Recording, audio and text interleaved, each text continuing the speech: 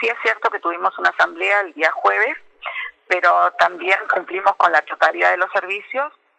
Nosotros tenemos personal que está sindicalizado y personal que no, y siempre se cumple la totalidad de los servicios con el personal que no está sindicalizado.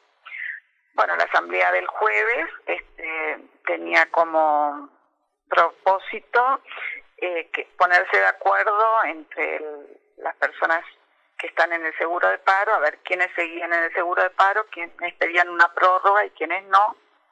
Hoy tuvimos una instancia en el Ministerio de Trabajo porque en realidad como que estábamos un poco pendientes de qué pasaba con esta situación de, de retomar más servicios y se aflojaba un poco la pandemia para ir tomando paulatinamente esas personas que están, esos trabajadores que están en el seguro de paro.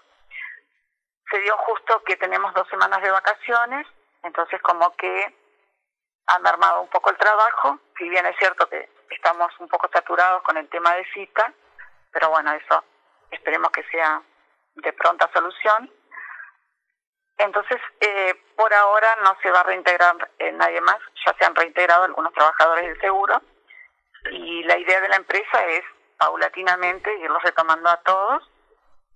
Y los que quieran eh, ir a un seguro de paro nuevamente tienen que firmar su conformidad y se va a ir aprovechando este beneficio de nuevo al seguro de paro. Pero los servicios se están cumpliendo todos en su normalidad.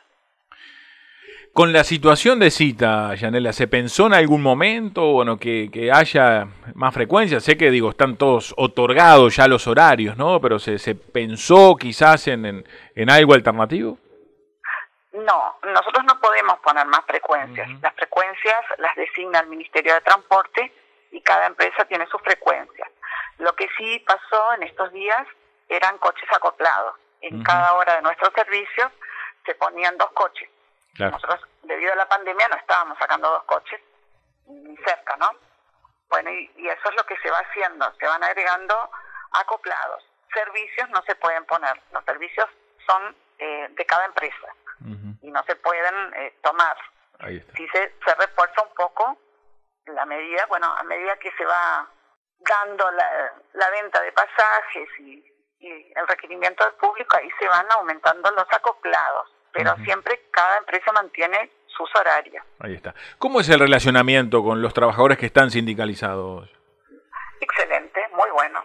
Tenemos un buen relacionamiento. Nosotros es, toda una misma empresa, el personal sindicalizado y el no sindicalizado. Son todos trabajadores de la empresa y, y hablamos muy bien, nos reunimos, hacemos bipartitas, hacemos tripartitas, tenemos nuestras diferencias, por supuesto, pero el relacionamiento es muy bueno. ¿Cómo es la situación de CONMI hoy en día?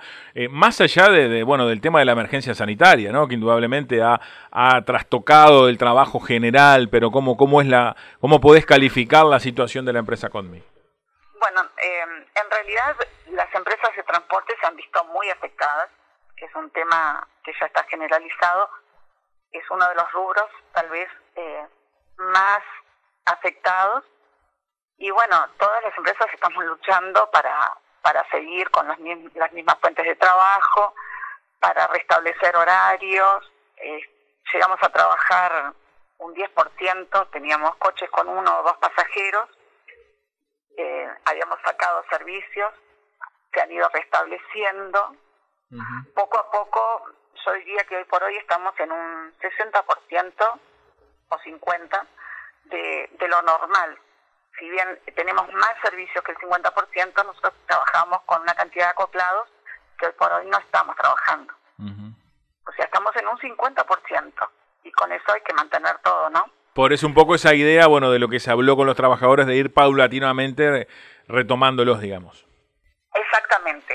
Eh, hay unos cuantos trabajadores en el seguro de paro, cosa que en CODMI nunca se había dado, de trabajadores que, que para el seguro de paro jamás se había dado pero bueno, en estas circunstancias se tuvo que dar, tuvo que ir mucha gente al seguro de paro, incluso hay personal administrativo con un seguro de paro parcial, pero bueno, todos intentamos mantener la fuente de trabajo.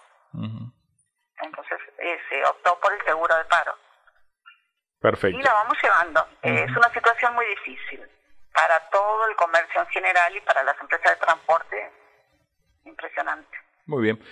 No, yo lo que le pido a todos los usuarios que por favor respeten y se suban al coche con tapabocas, porque hoy por hoy es un tema que nos está afectando a todos y una forma de prevenir es el uso de tapabocas.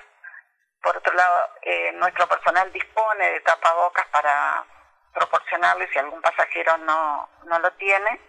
Pero bueno, tomemos todas las precauciones y mantengamos el distanciamiento lo más posible y usemos el tapaboca, por favor. Ahí está. Eh, se habla mucho de hoy en día de, del transporte interdepartamental con, con la situación que se ha dado con la empresa Cita, bueno, la huelga de los trabajadores, eh, quizás que, puedan haber más paros. Eh, ¿Preocupa esa situación, Janela? Bueno, sí, es una situación muy preocupante. Es una empresa importantísima, Cita, que, que está sin trabajar y no sé si van a haber más paros o no, pero de cualquier manera es bueno que la población sepa que no van a quedar aislados, que servicios van a haber siempre, que puede que en un turno no tengan eh, disponibilidad para viajar, pero en el próximo sí. No creemos pánico en la población de que no van a haber servicios. Servicios van a haber siempre, siempre van a tener en qué volver a su lugar, siempre van a tener para ir al médico, siempre van a tener para volver. No no hay que generar un pánico en la población de que van al haber paro no hay servicios, no. Hay paros, pero bueno, servicios hay.